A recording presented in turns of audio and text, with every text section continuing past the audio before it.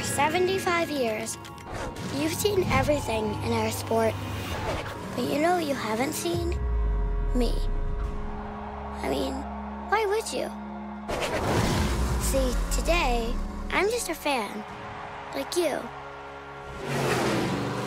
But tomorrow, tomorrow, well, you'll see.